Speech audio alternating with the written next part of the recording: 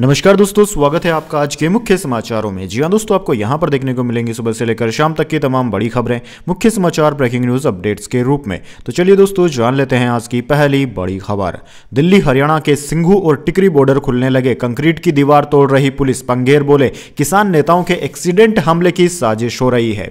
जी हाँ दोस्तों, किसान आंदोलन के शनिवार को बारहवें दिन स्थिति शांतिपूर्ण रही। दिल्ली जाने के लिए आए पंजाब के किसान शंभू और खनौरी बॉर्डर पर डटे हुए हैं। किसानों ने दिल्ली कूच का फैसला उनतीस फरवरी तक टाल दिया है। किसान नेता श्रवण पंघेर ने कहा है कि इस पर उस दिन फैसला लेंगे। इसी बीच किसानों के दिल्ली कूच को टाले जाने के बाद सिंघू और टिकरी बॉर्डर खोले जा रहे हैं। पुलिस की तरफ़ से लगाए गए कंटेनर और पत्थर हटाए जा रहे हैं। किसानों ने शनिवार शाम को शंभू और खनौरी बॉर्डर पर कैंडल मार्च निकाला, जिसमें भटिंडा के किसान शंभू करण को श्रद्धांजलि दी गई। वहीं आंदोलन में लापता किसान प्रीतपाल प्रीतपाल के रोहतक, पीजीआई में भर्ती होने की सूचना के बाद पंजाब के चीफ सेक्रेटरी अनुराग वर्मा ने हरियाणा के चीफ सेक्रेटरी संजीव कौशल को लेटर लिखा है। जिसमें घायल किसान को पंजाब को सौंपने के लिए कहा गया है। जिसके बाद हरियाणा सरकार ने उसे चंडीगढ़ रेफर कर दिया।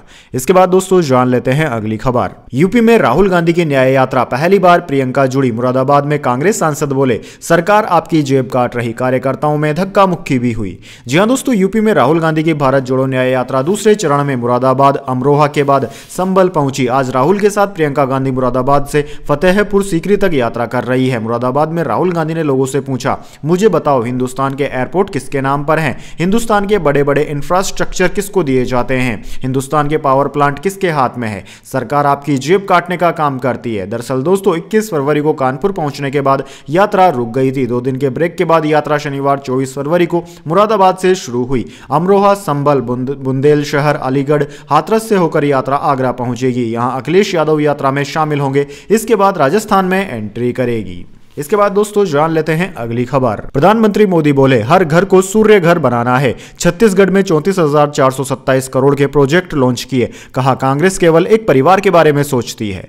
जी हाँ दोस्तों, प्रधानमंत्री मोदी ने वीडियो कॉन्फ्रेंसिंग के ज़रिए छत्तीसगढ़ में चौंतीस करोड़ की परियोजनाओं का लोकार्पण और शिलान्यास किया। इनमें बिलासपुर में तीन सौ तीन करोड़ से बने फ्लाई ब्रिज, भिलाई में दो सौ अस्सी करोड़ की लागत से बने पचास मेगावाट सोलर प्लांट, रायगढ़ में एनटीपीसी के सोलह मेगावाट के सुपर थर्मल स्टेशन का लोकार्पण और फ़ेज़ टू का शिलान्यास शामिल है। वहीं दोस्तों वीडियो कॉन्फ्रेंसिंग के ज़रिए संबोधित करते हुए पीएम मोदी ने कहा कि अगर कांग्रेस की सरकार होती तो आज भी एक रुपए में से पंद्रह पैसे ही जनता तक पहुँचते। वहीं दोस्तों, प्रधानमंत्री मोदी ने आगे कहा कि कांग्रेस आज भी परिवारवाद, भ्रष्टाचार और तुष्टिकरण से आगे सोच नहीं पाती है। जो सिर्फ़ अपने परिवार के लिए काम करते हैं, वो आपके परिवारों के बारे में कभी सोच नहीं सकते। जो सिर्फ़ अपने बेटे बेटियों का भविष्य बनाने में जुटे हुए हैं, वो आपके बेटे बेटियों के भविष्य की चिंता नहीं कर सकते। इसके बाद दोस्तों, अगली बड़ी खबर। एमपी में कांग्रेस निकालेगी राम यात्रा। बीजेपी सरकारों को देंगे रामलला का वास्ता संकल्प पत्र के वादे निभाने को कहेंगे। जी हाँ दोस्तों, मध्य प्रदेश में कांग्रेस राम यात्रा निकालने जा रही है। शनिवार को प्रदेश कांग्रेस अध्यक्ष जीतू पटवारी ने इसकी घोषणा की। प्रदेश कांग्रेस कार्यालय में मीडिया से बातचीत में उन्होंने कहा कि इस यात्रा में भाजपा की केंद्र और राज्य सरकारों से उनके वादे को पूरा करने के लिए कहा जाएगा। पटवारी ने बताया कि यात्रा का समय अभी तय किया जाना बाकी है। राम यात्रा के ज़रिए हम याद दिलाएँगे की महँगाई कम करो हर घर में बेरोजगारों की लंबी कतार है। युवाओं को रोज़गार दिलाएँ बीजेपी की केंद्र और राज्य सरकार ने संकल्प पत्र में अद्भुत अकल्पनीय वादे जो किसानों के लिए किए हैं, उनको पूरा करें। पटवारी ने कहा कि राम यात्रा सरकार के उस एजेंडे को पूरा करने के लिए है जो बीजेपी ने अपने संकल्प पत्र में कही है। दो हज़ार चौदह के लोकसभा चुनाव के पहले बीजेपी ने जो वादा किया था, वह अभी तक पूरा नहीं किया है। पीएम मोदी से उन वादों को पूरा करने का आग्रह किया जाएगा। इसके बाद दोस्तों जान लेते हैं अगली खबर। लोकसभा चुनाव, बीजेपी अगले हफ़्ते सौ उम्मीदवारों की सूची जारी करेगी। प्रधानमंत्री मोदी का नाम भी हो सकता है शामिल। जी हाँ दोस्तों, अगले महीने चुनाव आयोग द्वारा लोकसभा चुनाव की संभावित घोषणा से पहले भाजपा गुरुवार को सौ उम्मीदवारों के नाम जारी कर सकती है। सूत्रों के मुताबिक इस सूची में पार्टी के दोनों सबसे ताकतवर नेताओं, प्रधानमंत्री मोदी और गृह मंत्री अमित शाह के शामिल होने की उम्मीद है।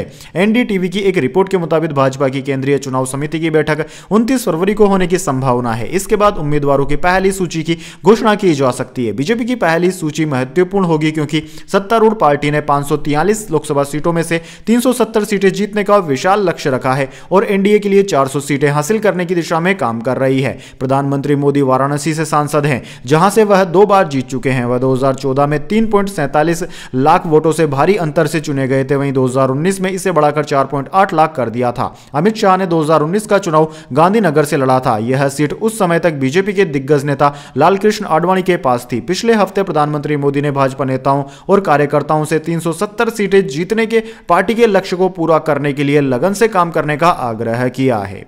इसके बाद दोस्तों जान लेते हैं अगली खबर। रांची टेस्ट में इंग्लैंड से 134 रन पीछे है भारत। दूसरे दिन स्टंप्स तक स्कोर 219 रन, सात विकेट के नुकसान पर। जायसवाल की 50 बशीर ने झटके चार विकेट।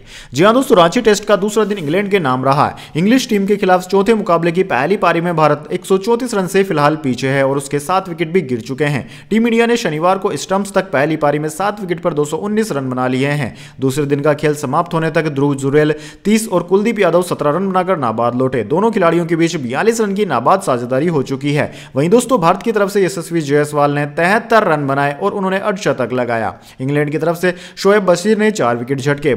टॉम हार्टले को दो सफलताएँ मिली। एक विकेट तेज गेंदबाज जेम्स एडरसन को भी मिला। वहीं दोस्तों, इससे पहले इंग्लिश टीम पहली पारी में तीन सौ तिरपन रन पर ऑल आउट हो गई थी। इंग्लैंड की तरफ़ से जो रूट ने 122 रन बनाए और वह नोट आउट रहे। भारत की तरफ़ से सबसे ज़्यादा चार विकेट रविंद्र जडेजा ने लिए। टीम इंडिया फ़िलहाल पाँच मैचों की सीरीज़ में दो एक से आगे चल रही है। इसके बाद दोस्तों जान लेते हैं अगली खबर। पश्चिम बंगाल राशन घोटाले में ईडी ने दर्ज किया नया केस, शाहजहां शेख और उनके सहयोगियों पर छापेमारी। जी हाँ दोस्तों, पश्चिम बंगाल राशन घोटाले के आरोपी शाहजहां शेख की मुश्किलें थमने का नाम नहीं ले रही है। परिवर्तन निर्देशालय ने राशन घोटाले के आरोपी शाहजादा शेख और अन्य के खिलाफ नया केस दर्ज किया है। ईडी ने ज़मीन कब्जाने से जुड़े मामले में मनी लॉन्ड्रिंग का केस भी दर्ज कर लिया है। ईडी के अधिकारी शाहजहां शेख और उससे जुड़े लोगों के यहाँ छापेमारी कर रहे हैं। छह से ज़्यादा लोकेशन पर छापेमारी जारी की गई है। इसके बाद दोस्तों, अगली बड़ी खबर। दिल्ली में चार सीटों पर आम आदमी पार्टी तीन पर कांग्रेस लड़ेगी। हरियाणा, गुजरात, गोवा, चंडीगढ़ में भी गठबंधन, पंजाब में दोनों अलग अलग चुनाव लड़ेंगे। जी हाँ दोस्तों, लोकसभा चुनाव के लिए आम आदमी पार्टी और कांग्रेस के बीच लोकसभा सीटों पर बंटवारा शनिवार को फाइनल हो गया। दिल्ली में आम आदमी पार्टी चार और कांग्रेस तीन सीटों पर चुनाव लड़ेगी। गुजरात की छब्बीस, हरियाणा की दस, गोवा की दो और चंडीगढ़ सीट के लिए भी शेयरिंग फार्मूला फाइनल हो गया है। कांग्रेस नेता मुकुल वात्सनिक और आम आदमी पार्टी लीडर संदीप पाठक ने शनिवार को ज्वाइंट प्रेस कॉन्फ्रेंस करके बताया कि पंजाब में दोनों पार्टियाँ अलग अलग चुनाव लड़ेंगी। इसके बाद दोस्तों, अगली बड़ी खबर। उद्घाटन से पहले कल्याणी एम्स पर 15 करोड़ की पेनल्टी, प्रदूषण नियंत्रण बोर्ड बोला। क्लियरेंस मिलने से पहले निर्माण शुरू किया। प्रधानमंत्री मोदी करेंगे इनोग्रेशन जी हाँ दोस्तों, पश्चिम बंगाल प्रदूषण नियंत्रण बोर्ड ने कल्याणी एम्स पर पंद्रह करोड़ का जुर्माना लगाया है। बोर्ड का कहना है कि एम्स के पास एनवायरमेंटल क्लियरेंस नहीं है। कल्याणी एम्स नदिया ज़िले में बीस वर्ग मीटर से ज़्यादा एरिया में बनाया गया है। इसका उद्घाटन रविवार पच्चीस फरवरी को प्रधानमंत्री मोदी करने वाले हैं। बोर्ड के अध्यक्ष कल्याण रुद्र ने शनिवार शनिवार को बताया कि पर्यावरण, वन और जलवायु परिवर्तन मंत्रालय के दिशा निर्देशों के अनुसार बीस हज़ार वर्ग मीटर से बड़े किसी भी प्रोजेक्ट के लिए पर्यावरण मंजूरी की ज़रूरत होती है। बोर्ड के मुताबिक एम्स ने 6 अक्टूबर 2022 को पर्यावरण मंजूरी के लिए आवेदन किया था, लेकिन मंजूरी मिलने से पहले ही इसका निर्माण शुरू हो गया। इसलिए यह प्रोजेक्ट उल्लंघन की कैटेगरी में है।